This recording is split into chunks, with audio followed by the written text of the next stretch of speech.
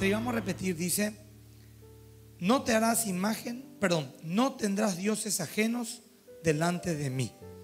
Ese es el primer versículo, o sea, el primer mandamiento de Dios. Podemos repetir, por favor, porque como creyente tenemos que saber eso. No tendrás dioses ajenos delante de mí. Es sencillo. Podemos ir a Mateo 22, por favor, ya el primer libro del Nuevo Testamento. Esta es una prédica poderosa, hermano. Yo les pido que por favor escuchen. Porque realmente es una palabra de enseñanza poderosa. Mateo 22, 37. Hay prédica y prédica, hermanos. Hay mensajes y mensajes. Y este es uno que realmente tiene fuerza. Así que atiendan, por favor. Suspendan su celular Miren aquí. Dice Mateo 22, 37.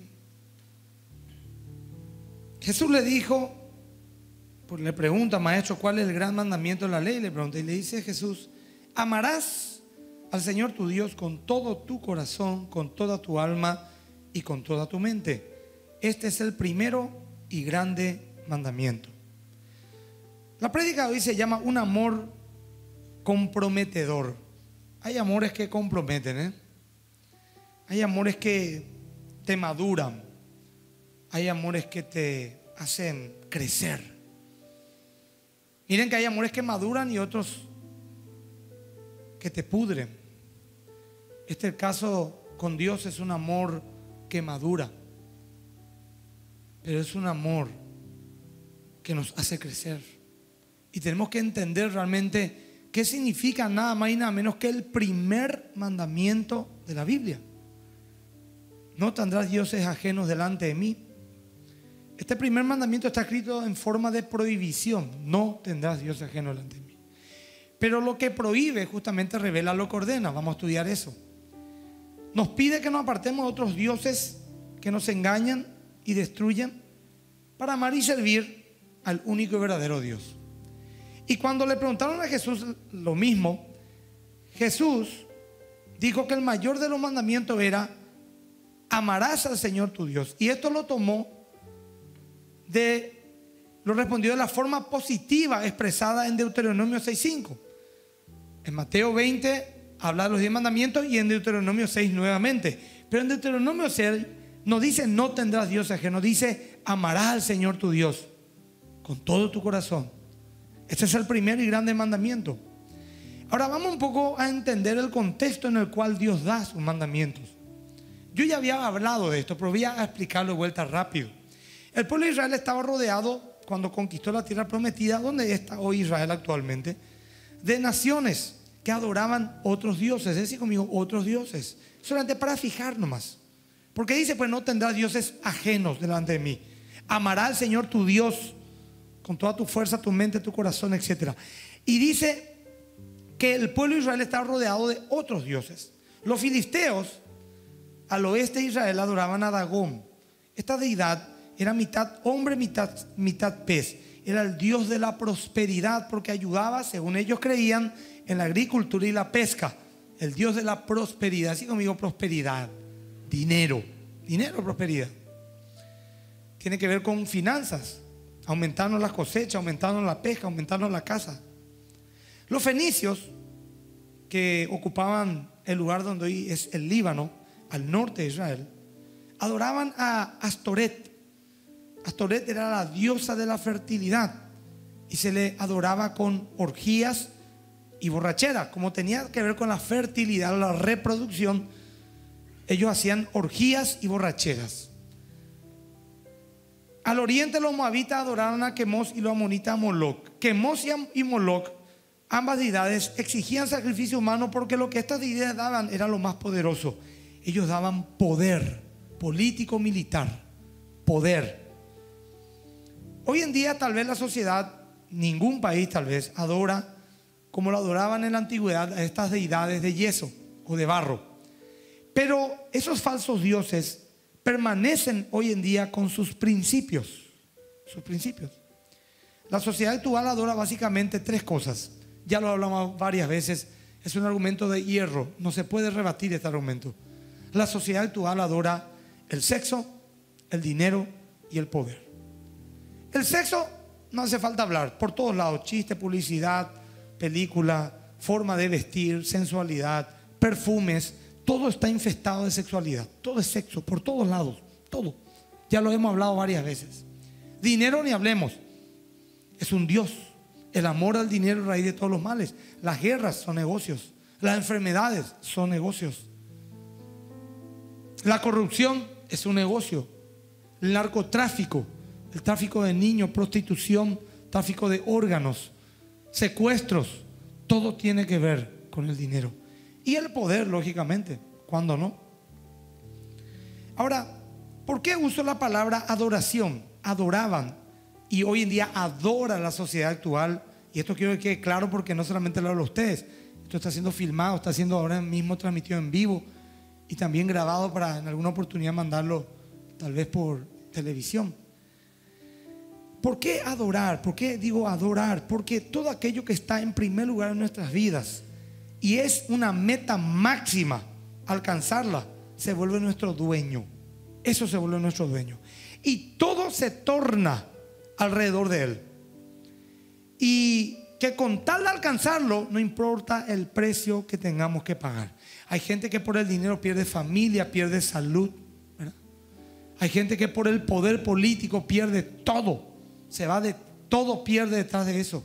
Descuida su, su hogar, su salud física. También por el placer mismo. Se deja todo de lado por el placer. Por un minuto de placer perdemos cosas que nos costaron toda la vida. Y lo que vos pongas en primer lugar en tu vida, alineará al resto. Yo puse esta mañana un ejemplo de que cuando yo era deportista, yo tenía mi negocio, mi estudio. Y tanto me, me, me, envolví en mi deporte, me apasioné tanto, que durante un año, seis meses, yo dejé mi negocio y mi estudio para dedicarme solamente a entrenar y nadie me daba plata para eso, al contrario, perdía plata. Pero me obsesioné. Cinco de la mañana y yo ya estaba trotando. No farreaba. Yo era un chico que no estaba así muy comprometido con Dios, pero nunca me iba a ver un sábado noche por una discoteca. Porque a las 7 de la mañana, con el maestro Miguel Ángel Sen, teníamos que ir a trotar en Iguazú. Mi comida, todo el mundo comía todo y yo tenía un físico privilegiado, mi cintura era así, todo marcado, pero por mi salud y por mi entrenamiento comía algo que a lo mejor no me gustaba tanto queriendo a lo mejor comer otras cosas. Todo alineó en mi vida. Todo se tornó alrededor. Perdí plata, perdí estudio, perdí relaciones sociales por, por mi obsesión. Ser campeón sudamericano de artes marciales. Puse yo como meta principal en mi vida y eso determinó todo el resto. Se alineó el resto a eso. Entonces lo que vos pongas como el primer lugar, el dinero todo va a tornarse alrededor del dinero. El sexo, el, placer, el poder. Entonces, los dioses de aquella época representaban básicamente poder, placer y dinero. Y al igual que estos baales de antes, tienen enseguecido a esta generación sin Dios. Es decir, conmigo, generación sin Dios. Así se llama mi artículo de la Nación por favor, compártanlo. Un lindo artículo, bien evangelístico, bien sólido, para que ustedes puedan también a través de eso compartir en sus grupos sociales. Estos falsos dioses, así como en la antigüedad, escuchen gente, tarde o temprano se vuelven contra sus adoradores, haciéndoles más daño que los beneficios, entre comillas, que pudieron haber logrado. Destruyen familias, la obsesión, el sexo no está mal, el placer sexual o de cualquier tipo no está mal dentro de los parámetros ordenados que el Señor nos dio. No estamos en contra de eso. El poder no está mal. Si el poder vas a, tenerlo y ejercerlo para bendecir a los demás, el poder es muy bueno. El dinero no es malo, es una herramienta, es como un cuchillo que puede usar para cortar pan o puede usar para cortar la cabeza a alguien o clavarle. Es una herramienta. El dinero es bueno porque el dinero nos da las comodidades necesarias para vivir dignamente en esta vida y ayudar a otros. El problema es poner algo por encima de Dios.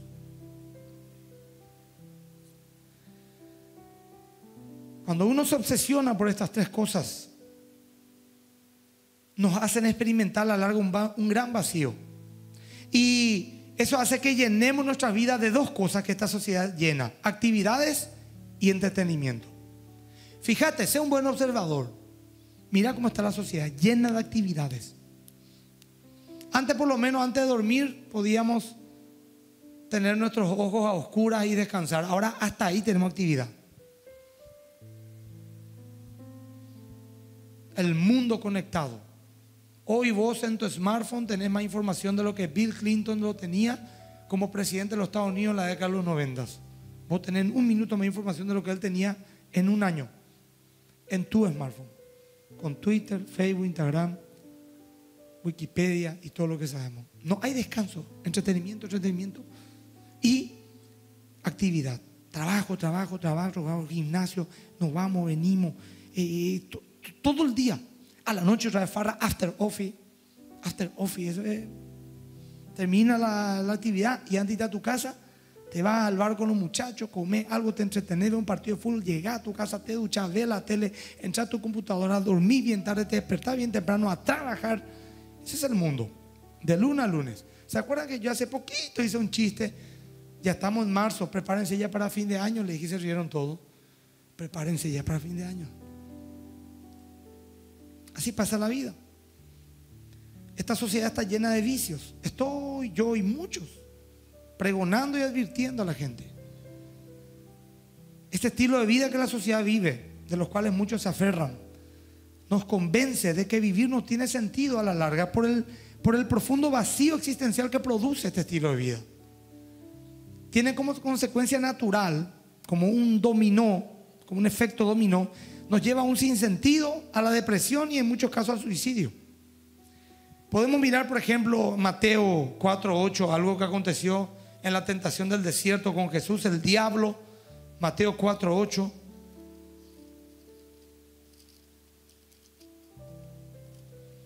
Le tienta al Señor y le dice otra vez, le llevó el diablo a un monte muy alto y le mostró todos los reinos del mundo y la gloria de ellos. Y le dijo, todo esto te daré si postrado me adorares. Este, este fue un ataque directo y descarado al primer mandamiento. Porque la gloria del mundo, ¿cuál es? El sexo, el dinero, el poder, la fama, la influencia, la admiración, la gloria del mundo. Esto fue un ataque directo al primer mandamiento. Era un ataque que incluía un paquete que lo encerraba todo. Dinero, sexo y poder. Todo esto puede ser tuyo, le dijo a Cristo el diablo. Ahora, estos dioses, ¿por qué terminan fallando a los que le adoran? La filosofía que estamos viviendo actualmente en esta sociedad que vivimos hoy es total y rabiosamente materialista. Y todos nos vemos envueltos en esto en mayor o en menor medida. Mi propio hijo me dijo, papi, en un mes cumplo año y yo quiero que mi cumpleaños sea la temática de fútbol. Barcelona, Real Madrid, que esto, que aquello. Y quiero que mi torta y todo esté adornado con fútbol. El año pasado era, no sé qué, un dibujo animado y la otra vez fue Cars, otro dibujo animado. Y yo me acuerdo, le dije a mi esposa justamente hoy, que mi cumpleaños era siempre el mismo. La torta añadorita, la despensa de la esquina del barrio, no le miento. Era, era, no había temática. Era torta, empanadita, juguito. No había globo loco. Correteamos por todos lados. Estamos viviendo en nuestra sociedad.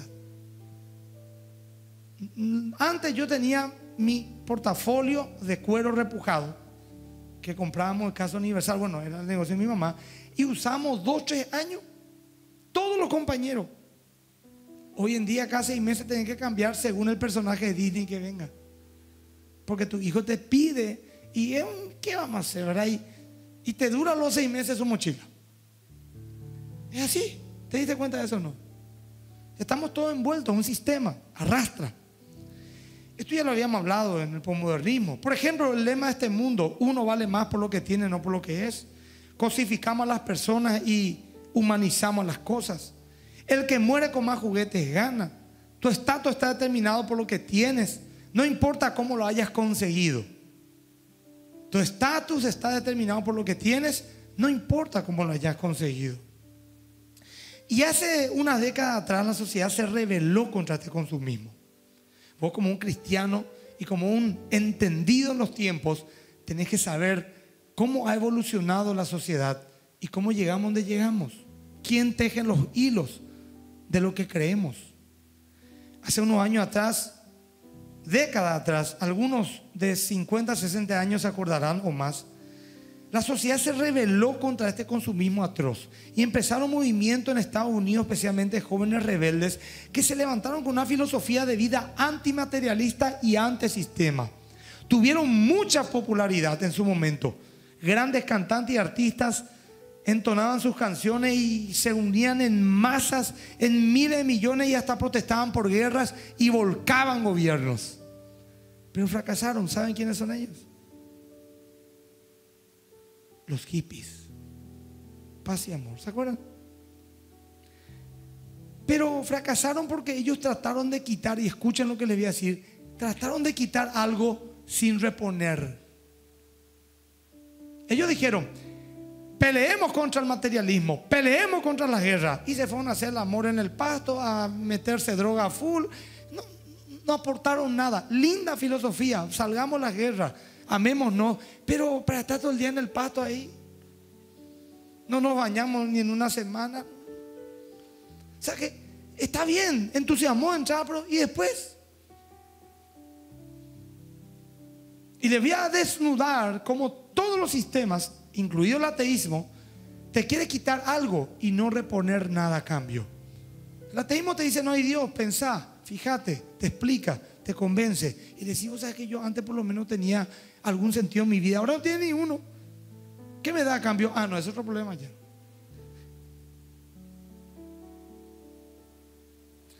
Bueno, el problema del movimiento hippie fue que su vida también estaban vacías, sin sentido, y a la larga la sociedad se dio cuenta de que ese movimiento estaba queriendo cambiar una clase de egoísmo por otra.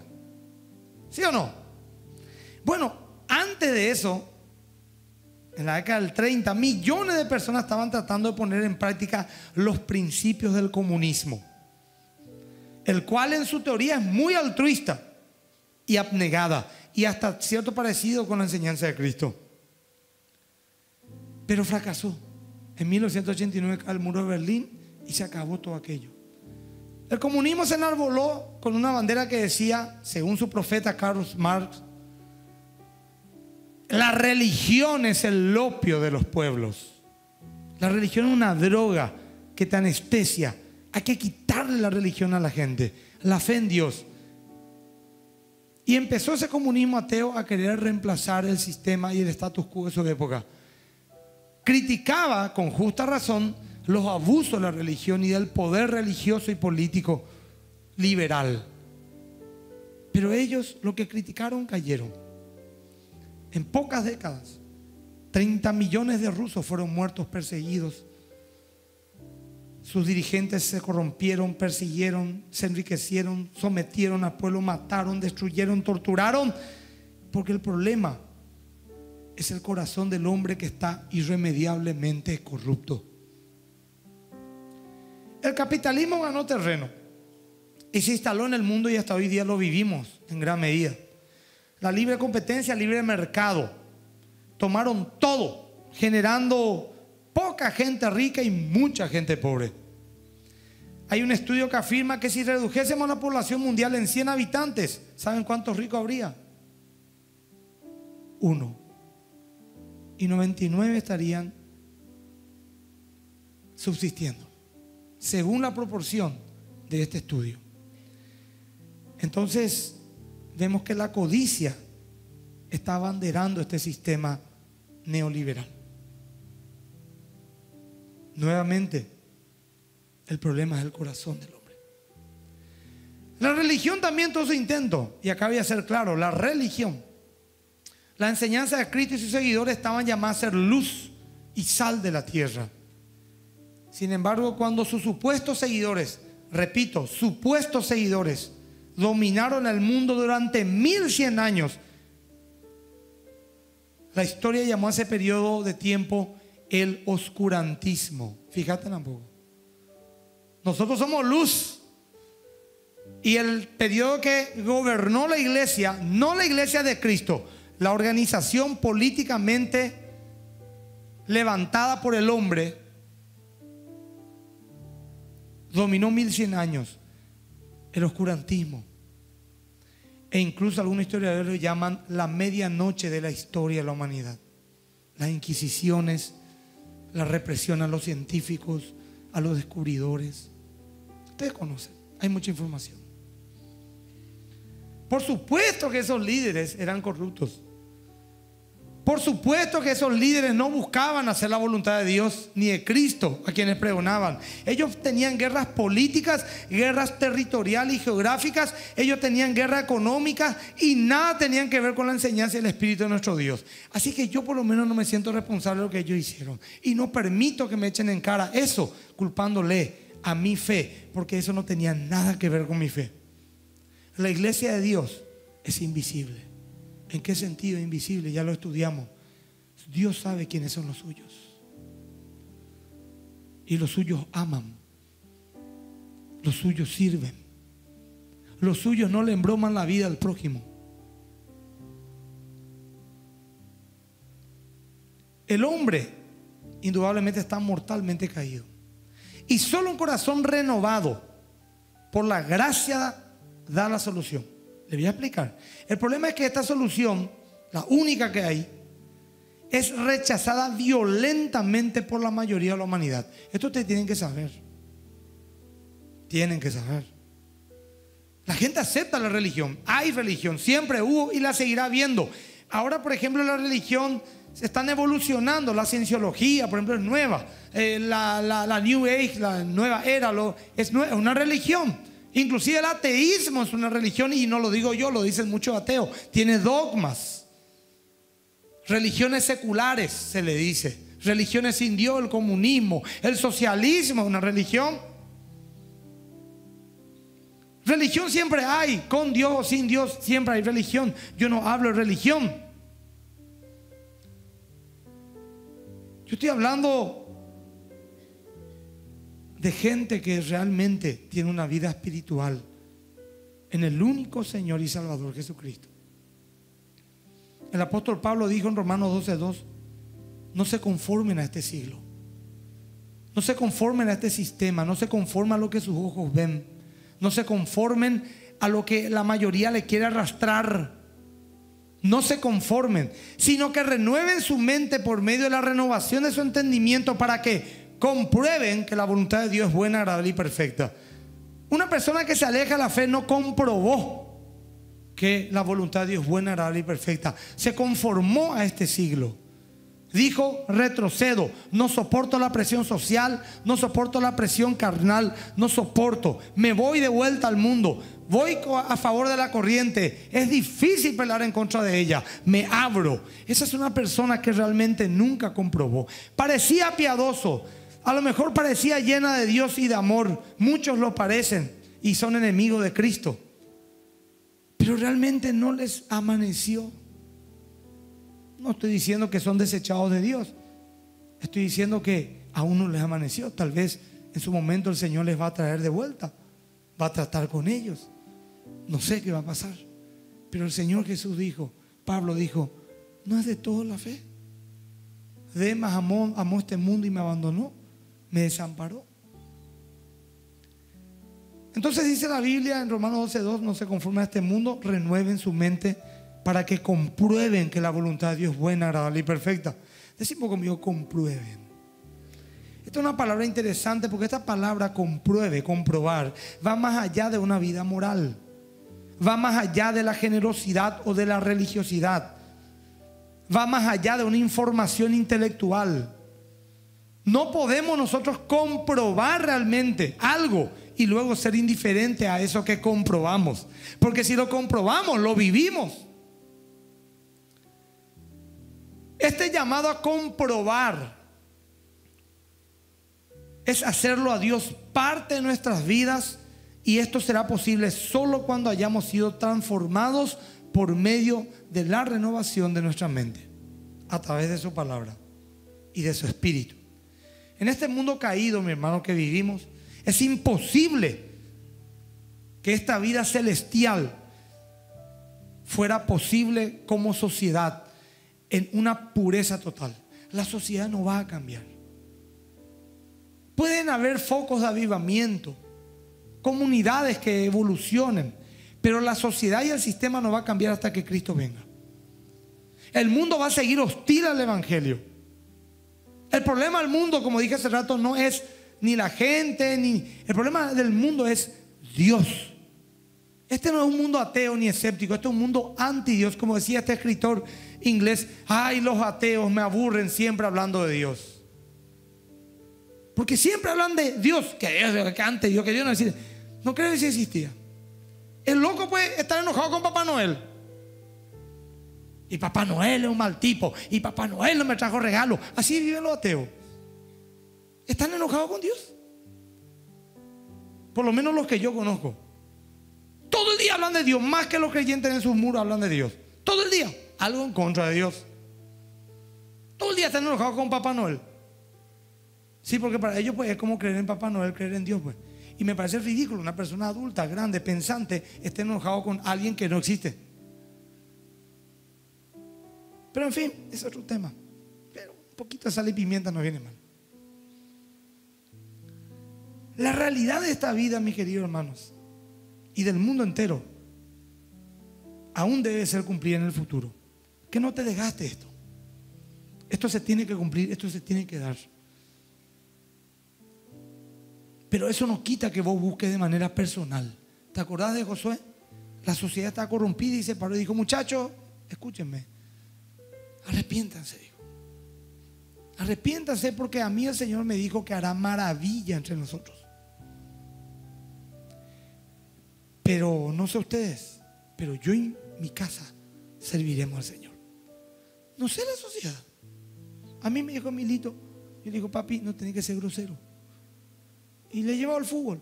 Y los papás son los más groseros que los hijos. Y me dice, papi, fulanito dice grosería. El papá, todo el mundo dice grosería. Y yo no puedo decir grosería. No, no puedo decir. Bueno, puedo decir, vas a ligar, papito. ¿Y por qué, papá? Y le explico. Pero yo ya veo cómo el sistema lo quiere ahogar. ¿Por qué todos y yo? Papito, nosotros somos hijos de Dios. No vas a entender todavía esos chicos. Haceme más caso, papito. ¿Sabes qué significa esa grosería que escuchaste? Es una ofensa. A nadie le gusta andar a decirle a alguien tal cosa y se va a ofender. Nosotros estamos llamados a bendecir y no a maldecir. Y le explico dentro de su mente, pero no entiende todavía bien. Es niño.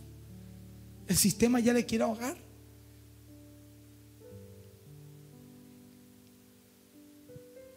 Entonces, un cambio radical que es como necesitamos nosotros los cristianos en nuestras vidas personales.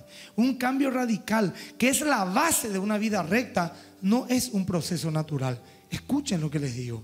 No es el fruto del acondicionamiento ni técnica de razonamiento moral. Involucra un cambio de corazón David, ¿qué dijo en el Salmo 51.10? Salmo 51.10. Un salmo muy famoso, donde David se arrepiente de un terrible pecado y él dice, encuentra por revelación su problema y dice, crea en mí, oh Dios, un corazón limpio. Una vez estaba un predicador predicando, valga la redundancia, cerca de un muelle parado sobre una caja de cartón. Y decía, acérquense a Dios, acérquense a Dios, Dios les ama, arrepiéntanse de sus pecados. Y la gente caminaba. Hasta que de repente un grupo le escuchaba y viene un capitán de un barco, un ignorante, soberbio, y le dice, yo nunca le vi a Dios, tu Dios no existe. Yo nunca le vi a tu Dios, le gritaba mientras él predicaba, hasta que no aguantó más el predicado. Dijo, capitán, le dice, usted nunca vio a Dios y le creo y nunca le va a ver, porque los de limpio corazón ven a Dios. Y vos sos un sucio, sos un indigno. No le vas a ver a Dios, mi capitán. Porque a Dios le ven los de limpio corazón. Así que vas a seguir gritando mucho todavía. Porque no le vas a ver a Dios. Duro, ¿eh? Ya saben ya por qué no le ven a Dios mucho. Analícense. Los de limpio corazón, dice. Con el pastor Vicente estamos la otra conversando sobre un tema puntual. Y él me dijo, pastor, que pastor, esto, que aquello. Dios me mostró mi corazón, me dijo. ¿Y qué encontraste ahí? Cosas que arreglar. Y yo también.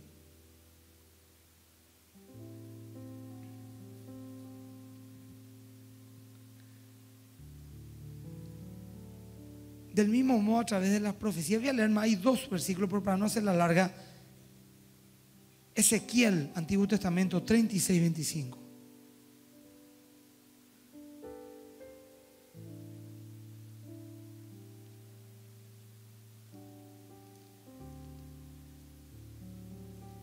Ezequiel 32, 25.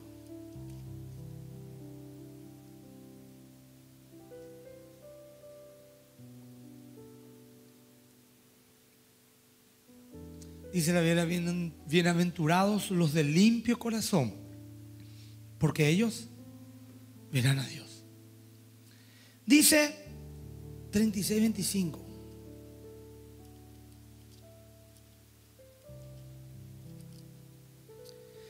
Esparciré sobre vosotros agua limpia y seréis limpiados de todas vuestras inmundicias y de todos vuestros ídolos os limpiaré. ¿Se acuerdan? Otros ídolos, otros dioses. Os daré, eso lo dice Dios de él parte de la iniciativa. Os daré corazón nuevo y pondré espíritu nuevo delante dentro de vosotros y quitaré de vuestra carne el corazón de piedra y os daré un corazón de carne, un corazón receptivo. Y pondré dentro de vosotros mi espíritu y haré, ahí recién, que andéis en mis estatutos y guardéis mis preceptos y lo pongáis por obra. Fíjense que el contexto habla de un corazón inclinado a la idolatría. Luego Dios interviene cambiando el corazón es una obra soberana y poderosa que Dios hace. No es religiosidad, ni esfuerzo humano, ni ritualismo. Y luego los confirma en bendición diciéndole, ustedes serán mi pueblo. Ahora, amor y adoración son dos palabras que están de la mano. Si uno dice yo adoro a un Dios, está diciendo yo amo de manera extrema a ese Dios. Y nosotros mismos usamos esa palabra. ¿Acaso no decimos por alguien le re amo, le recontra amo, le adoro? Lo dice, ¿verdad? Cuando ya no sabes cómo expresar tanto amor hacia tu hijo, hacia tu criatura, hacia tu novio o tu novia. Más las chicas dicen eso. Los hombres no son tan duros. Si los hombres son más pensantes, disculpen chicas, en serio les digo. Las chicas, me regaló una flor Sí, pero vos le estás pagando la cuenta hace un año. Tiene que trabajar el tipo. Pero es tan con cortés conmigo, te dice. Puramente emocional. Le rompió la cabeza a su cerebro y su corazón le dijo, bueno, llámale, ya está. Porque hay una adoración. ¿Sabe qué es lo que es adoración? Yo sé que esto me perjudica. ¿Cómo lo que no tomo la rienda? Esto no me perjudica.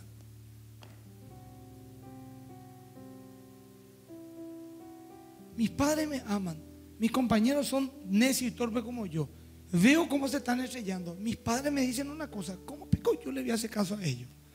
No tengo dos dedos de frente para poder decirle cierto papá, cierto mamá. ¿Cómo puede ser? Tanta experiencia tenemos de dolor y ahí otra nos vamos. Tenemos la capacidad de golpearnos 20 veces con la misma piedra. Es el problema del corazón caído. Jesús asoció la palabra adoración con la palabra amor. Nosotros también lo hacemos. O no decimos cuando queremos expresar un amor exagerado hacia alguien diciendo le adoramos. La adoración, igual que el amor, es una actitud y condición del corazón. Porque el amor pues, no tiene mucho. Le amas nomás ahora. ¿Sí o no? Le amas. Es más, a veces le amas sin conocerle ya. Le ve así. Hay un feeling, una química, te dice la gente.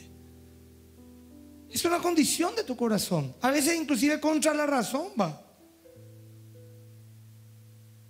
Es una, la adoración, al igual que el amor, es una disposición de dejarle a Dios ser Dios en nuestras vidas. Si decimos que le amamos, amará al Señor tu Dios. Primer mandamiento. De ahí partimos. Ahí partimos. Si ahí hay problemas, ya estoy hablando de Baldaca. Pero si vos supuestamente sos cristiano o cristiana, la Biblia dice, amarás al Señor tu Dios. Es decir, que Dios gobierne mi deseo, que Dios controle mi vida, que Dios me dé motivaciones, que nos proyecte y que se refleje su carácter en el nuestro. Lo mismo que las personas sin Dios hacen con sus dioses. Se nota cuando una persona es adicta al sexo, ¿sí o no? Es lujurioso, su mirada es vaga. ¿Sí o no, chicas? Ustedes se dan cuenta cuando se encuentra un baboso. Aunque esté así, vos te das cuenta. Las mujeres son muy intuitivas.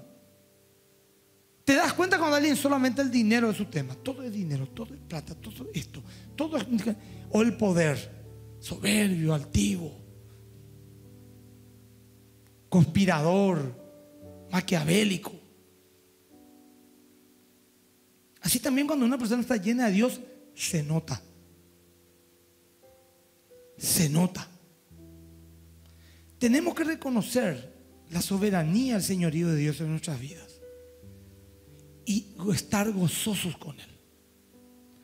Tenemos que entender que el conocimiento de Dios no empieza con el razonamiento humano, sino con la revelación. Revelación. Fíjate, ¿qué es una revelación? Un ejemplo práctico. Si yo te digo, ¿cuánto, tengo acá en mi bolsillo? Vos podés saber. Imposible. Podés tratar de adivinar, pero no vas a saber. Yo tengo que decirte, porque si no, no hay otra forma que sepas.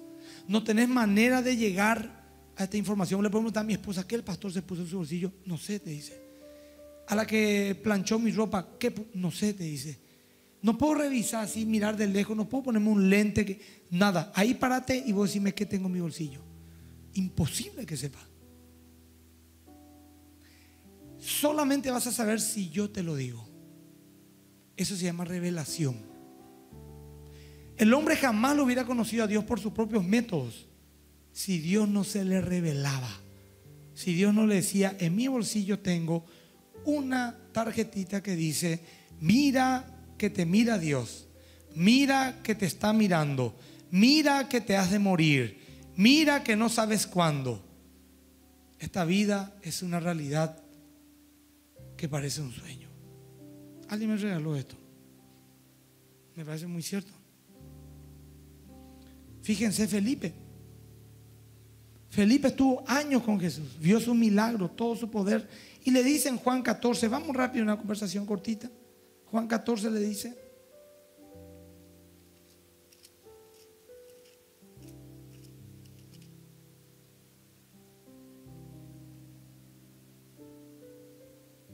Felipe le dijo, el 8, 14, 8, Felipe le dijo, Señor, muéstranos el Padre y nos basta. Entonces Jesús le dijo, tanto tiempo hace que estoy con vosotros y no me has conocido, Felipe. El que me ha visto a mí ha visto al Padre. ¿Cómo pues dices tú, muéstranos al Padre? No podía entender Felipe. No se le caía el velo. Pero podemos ver otra historia en Mateo 16, 16 Vamos a mirar el primer libro del Nuevo Testamento. Por el otro lado está Pedro, Mateo 16 6, que no era mejor que Felipe. Dice Mateo 16 6. Bueno, el, contexto dice, viniendo Jesús a la región de Cesarea Filipo, preguntó a sus discípulos diciendo, ¿quiénes dicen los hombres que es el Hijo del Hombre? O sea, ¿quiénes dice la gente que soy yo? Ellos dijeron, unos Juan el Bautista, otros Elías, otros Jeremías o algunos de los profetas. Él les dijo, ¿y ustedes? ¿quiénes dicen que soy yo? Esto es muy importante. De repente cuando una persona quiere saber qué se opina de él, pregunta, dice, che, ¿qué dice la gente de mí? Y la gente le dice, algunos dicen que sos esto, otros que sos serio, otros que son mal tipo, son buen tipo, otros te quieren, otros te odian. Está bien. Pero ahora vamos a lo que a mí me interesa. Ustedes que me conocen y que están conmigo, ¿quién dice que soy yo? Eso es lo que te tiene que importar.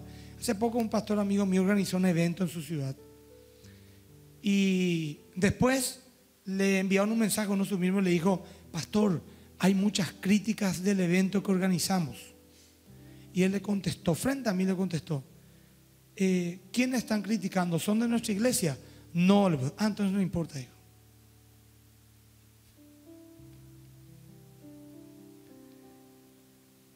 Y ahí ocurre algo tremendo. Respondió Simón Pedro y dijo, tú eres el Cristo, el Hijo del Dios viviente. Entonces le respondió Jesús, bienaventurado eres Simón, hijo de Jonás, porque no te lo reveló carne ni sangre, sino mi Padre que está en los cielos. Una revelación de Dios. Dios tiene que ser una revelación. La misma Biblia dice que por mecanismo humano no vamos a conocer a Dios nunca. La sabiduría de este mundo no va a llegar a Dios nunca. Muchos te dicen, leí el libro, estuve esto. Eso dijo, yo ya les conté. Eh, eh, Richard Dawkins se llama un inglés considerado padre de la biología moderna, uno de los mayores apóstoles del ateísmo mundial. Y en los Estados Unidos también está un biólogo considerado padre de la biología moderna como él, cristiano acérrimo. Se llama Collins, no me acuerdo el nombre. Y le preguntan, es la revista muy interesante, una revista supuestamente de ciencia, ¿por qué se volvió ateo a Richard Dawkins? Y él dijo, la ciencia me demostró que Dios no existe. Cruzaron el otro lado del mar y le preguntaron en los Estados Unidos a Collins, ¿por qué usted como científico es creyente? Y él dijo, la ciencia me demostró que Dios existe. Entonces, ambos se respetan como profesionales, como científicos, como hombres de ciencia. Pero evidentemente la fe en Dios es una cuestión del corazón, es una revelación que Dios trae a sus escogidos. Vamos a dejarlo ahí porque hablar de eso sería desviar un poco el tema. Ya lo hemos hecho en una oportunidad. Ahora, ¿quién es la revelación de Dios? En Juan 1.18 dice, ¿quién es la revelación de Dios? ¿Quién es la revelación de Dios? Dice, a Dios nadie le vio jamás el unigénito Hijo que está en el seno del Padre, Él le ha dado a conocer. ¿Vos querés conocer a Dios? No vaya a darte vuelta. Lee los evangelios. Mateo, Marcos, Lucas y Juan. Lee la vida de Cristo. Aprende qué hizo, cómo pensó, cómo reaccionó, qué creía, qué no creía. Ese carácter, ese es el carácter de Dios. Ahí se te va a revelar el Señor. A medida que nosotros aceptamos el primer mandamiento, amará a Dios sobre todas las cosas y le concedemos a Dios su lugar en nuestras vidas, esa revelación nos, nos es concedida en forma personal. Dios nos empieza a dar. Y esta es la única manera posible de conocer a Dios, no hay otra. Conocer a Dios es dejar a un lado cualquier idea o pensamiento o criterio que compita con Él o disminuya su soberanía sobre nuestras vidas.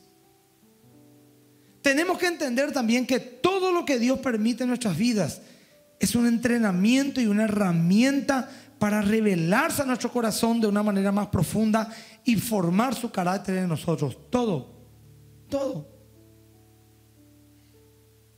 Persecuciones, difamaciones.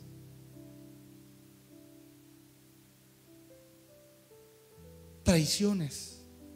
Son circunstancias, enfermedades, problemas son circunstancias que hacen que la laguna de tu corazón se empiece a remover para que suba el lodo que está en la base, las ramas, las hojas, y el Señor pueda ir limpiando ese lugar.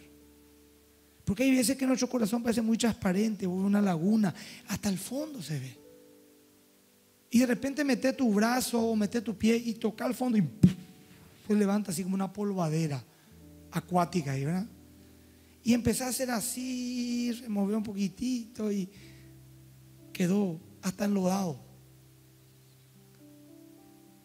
Entonces Señor cada tanto te visita con circunstancias adversas situaciones donde tenés que ejercitar el perdón. ¿Vos crees que estás bien cuando todo está bien? Si vos estás bien, ¿qué problema hay? Pero cuando vienen las circunstancias difíciles, empieza a salir lo que realmente hay en tu corazón. Y eso es de Dios. Ya lo sabes, ¿verdad, hermano? Porque si Dios tenemos un problema, Señor, soluciona ahora este problema, ¡bum! te soluciona, gloria a Dios. El primer problema, Señor, hoy, hoy, gloria. Entonces, ¿cómo Dios va a formar tu carácter? Que nadie hable mal de mí, que nadie me traicione, que nadie me engañe. Yo no quiero que nadie me engañe, a mí me picha que da calambre. Pero no me queda otra. Si a mí me persiguieron, dijo el Señor, ¿cuánto más ustedes? A mí me duele que haya gente que tenga conceptos de mi vida que son totalmente errados. Totalmente errados. Y hay veces que hasta quiero aclarar y, lo he intentado neciamente en las redes sociales. Me coloca una persona, usted es un bandido, un delincuente. Generalmente le bloqueo nomás directamente, ¿verdad? Pero a veces así estoy, digo, no tengo ningún problema, quiero uno. Y le contesto, con mucho amor. Le digo, eh, disculpe señor fulano, eh, así, con mucho amor. ¿Por qué usted dice eso? ¿Usted me conoce a mí? No le conozco, pero tampoco hace falta conocerle. Gente su calaña, papá. Tragala y él. Señor, si usted quiere, yo le puedo recibir y puede saber cómo es mi ministerio, cómo se sostiene, cuál es mi familia, mi vida, qué hacía yo antes.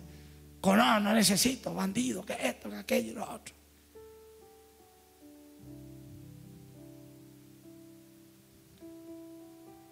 Quiero que la gente sepa la verdad. Pero no puedo eso ya sé. Voy a dedicarme toda mi vida a, limpiar mi imagen. No tengo tiempo. No se puede arrastrar un muerto. A la larga su cuerpo contaminado te va también a enfermar. Porque hay gente que enferma o no. Peor que el ébola de su carácter. Te contagia, te mata, te amarga. Le da caramelo de miel y se corta en su boca. Entonces Dios nos mete en un entrenamiento. Y esta, hermano, es la única manera de no amargarnos ni sucumbir en medio de nuestras circunstancias. La única. El tener a Dios en primer lugar, que es el punto que hoy nos atañe, es la base fundamental de nuestra moralidad y nuestra verdadera vida espiritual. Será el árbitro que determine qué decisiones y criterios tenemos en cuenta en nuestras vidas. Nos haremos en todo momento esta pregunta. A los que realmente aman a Dios sobre todas las cosas. Lo primero, este video, este lugar, esta página, esta película, este trabajo, esta relación, este viaje, este entretenimiento, esta relación, esta amistad, ¿cómo afectará mi relación con Dios? Es la pregunta que tenemos que hacernos. Pero la gente hay relaciones que te perjudican en tu relación con Dios. Hay negocios que te perjudican. Hay actitudes que te perjudican. Pablo dijo, y todo lo que hagáis, hacedlo para la gloria de Dios. No de tu esposa, ni de tu marido, ni de tu trabajo, ni el tuyo. Para la gloria de Dios. En pocas palabras, yo le voy a decir a mi hijo cuando, ahora ya le dije y le voy a entender y le voy a decir más. Mi hijo, y puse los a mi muro, he aquí una regla para el resto de tu vida. No hagas nada que no pueda ofrecérselo a Dios. Después no puede decir, Dios te ofrezco la rebeldía contra mis padres. Dios te ofrezco una vida promiscua. Dios te ofrezco estafa y violencia. Dios te ofrezco orgullo desenfrenado. Nunca hagas nada en esta vida que no puedas ofrecerle a Dios. Ese es el paralelo de, y todo lo que hagáis, sea de palabra, de obra, hacerlo para la gloria de Dios. Eso es lo que hablamos de que lo que ponga en primer lugar alineará el resto. Cuando realmente empecemos a vivir así, el orden y la moralidad junto a la espiritualidad verdadera, empezarán a ahuyentar el miedo, ahuyentar la incertidumbre, ahuyentar el vacío, ahuyentar la depresión y ahuyentar el sinsentido de la vida. Y ahí podemos entender lo que Jesús dijo. Buscad primeramente el reino de Dios y justicia y todas las demás cosas vendrán por añadidura.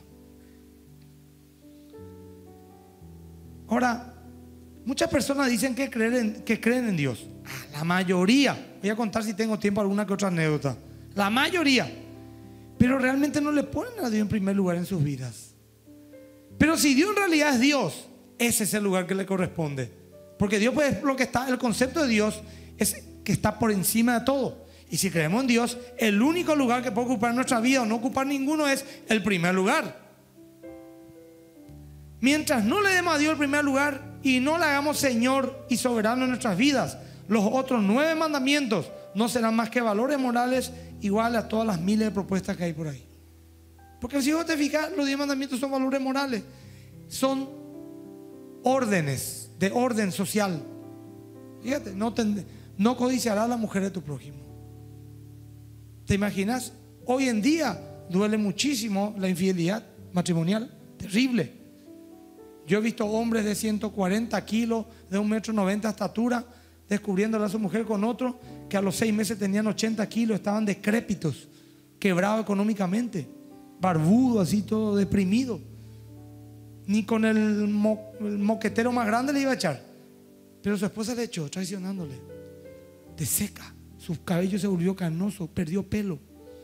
Seguramente también a las mujeres les pasa. Se, se, vuelven ojerosas, su mirada es triste. Yo, yo trato con gente así todos los días. Terrible. Pero en aquella época, hermano querido, en poco, mi querido Federico, en aquella época la guerra era así. Así era la guerra. Hombro a hombro. Y vos pues no te podés estar acá hombro a hombro con el tipo que se acostó con tu mujer. ¿Entendés lo que digo?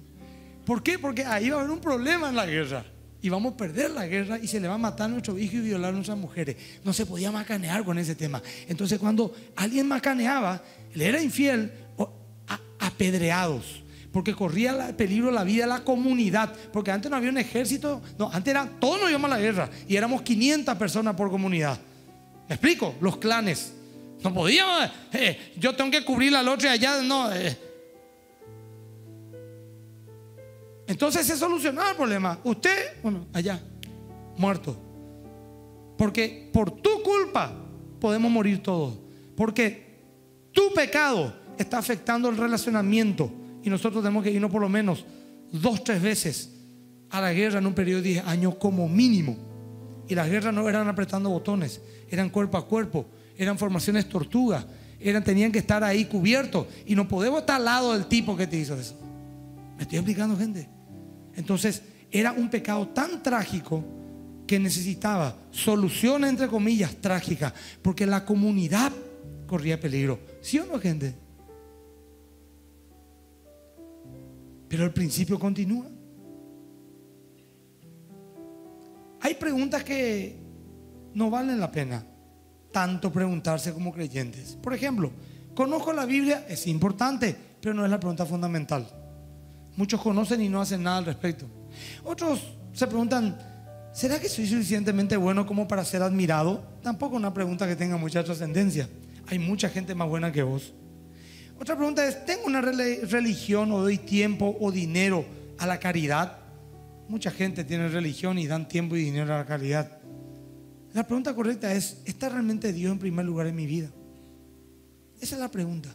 A mí me escribió una persona entre algunas que me salen escribir en Facebook. A veces tengo tiempo y ganas también de responder, porque de verdad cada cosa que hay ahí. Y me, me dice, usted es esta, que me, ofende, gratuitamente. Y dije yo, bueno, voy a evangelizar. Eran las 11 de la noche, una persona. Le contesté, buenas noches, señora. ¿Usted por qué dice eso? Por esto, por acá, yo de repente mi monito así, ¡guau! salía así eso.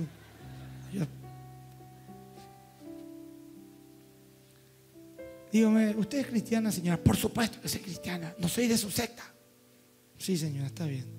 Le felicito. Y le entiendo. Pero, ¿usted en qué iglesia se va, señora? No necesito irme mucho a la iglesia para ser una buena cristiana. Sí, pero se, se, irá alguna. Viste que la Biblia dice que tenemos que pertenecer a una comunidad de fe, pequeña, grande, no importa. Ya le dije, yo no me voy porque yo la adoro a Dios en mi casa. Bueno, está bien, póngale que sea así. Usted conoce la Biblia. Tampoco leo mucho la Biblia. ¿Entendés ya por dónde vamos? Después le dije, señora, usted sabe que la Biblia dice, acá están las referencias bíblicas, que Cristo es el único camino al cielo. ¡Ja! Así me creyó. Es una soberbia decir eso. Cristo es un camino al cielo y yo lo he tomado, pero hay muchos caminos al cielo. Señora, ¿vamos a hablar conforme a la Biblia o de todas son partidos o Porque si usted dice ser cristiano y yo también soy cristiano y pongo la Biblia acá, tengo que hablar conforme a la Biblia. A mí no me importa su Biblia. Bloqueado. No le dé perla a los cerdos. ¿Sabe por qué? Porque cuando una... ¿Quién es el cerdo? Dura la palabra, ¿eh?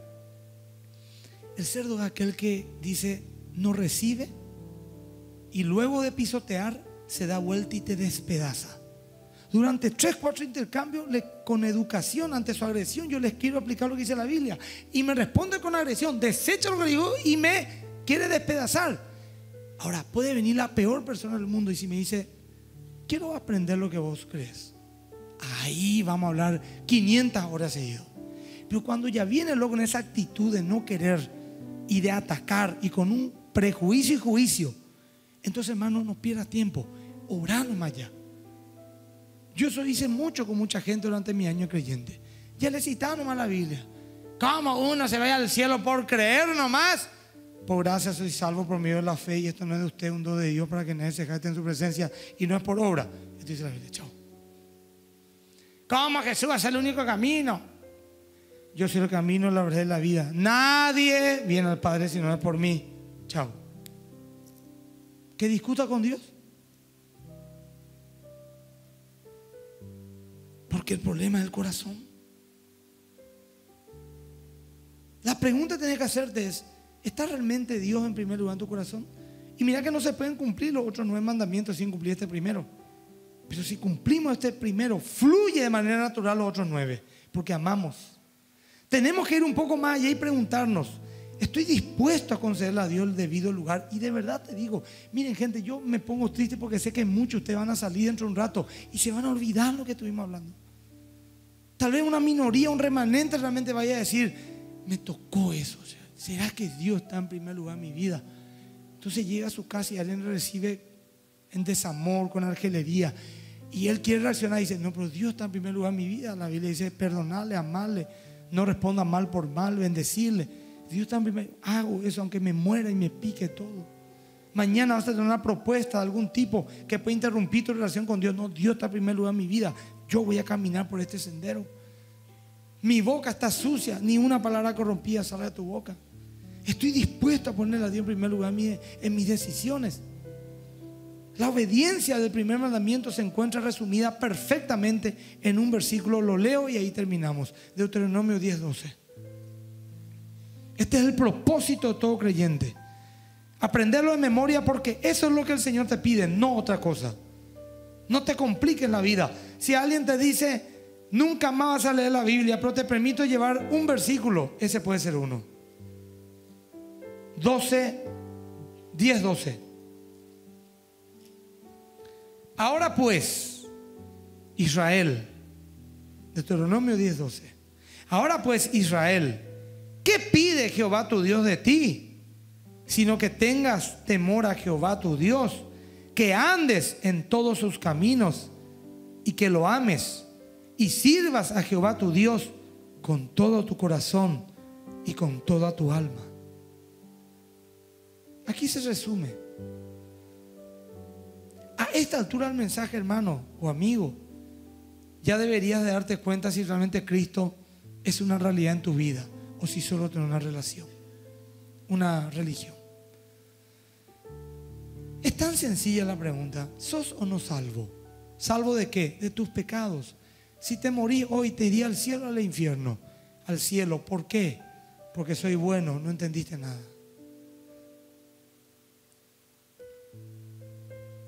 Yo te pregunto si hoy te morís. ¿Dónde te irías? Y seguramente empieza a salir una contabilidad mental de tus buenas obras y tus malas obras. Es algo totalmente así, involuntario. ¿No entendiste? La característica de un hombre o una mujer que es salvo, que nació de nuevo, es si le tiene a Dios en primer lugar en su vida. Yo le digo a las chicas, por ejemplo, a los muchachos solteros, no te vayas a casar con un creyente guau que les tiraste seis meses antes en la iglesia forzadamente.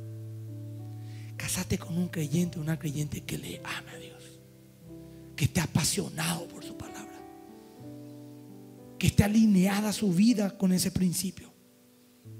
No te va a ir mal en la vida. El problema es cuando forzamos conversiones. El problema es cuando acomodamos versículos. El problema es cuando negociamos con Dios su primer lugar en nuestras vidas. Tus mejores amigos tienen que ser creyentes serios.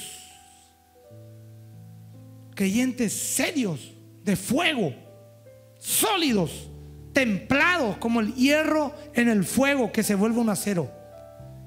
Mis mejores amigos, mis confidentes, mi esposa, el pastor Wesley, Vicente, Adolfo, mi hermano. Yo no tengo ni un tibiecito que sabe algo mío o de mi corazón o que tiene acceso a mi privacidad. Ni uno. No por ser un pastor, es porque cuido mi corazón. Necesito gente leal a mi lado. Y no te vaya a engañar. Si no le son leales a Dios, no van a ser leales contigo.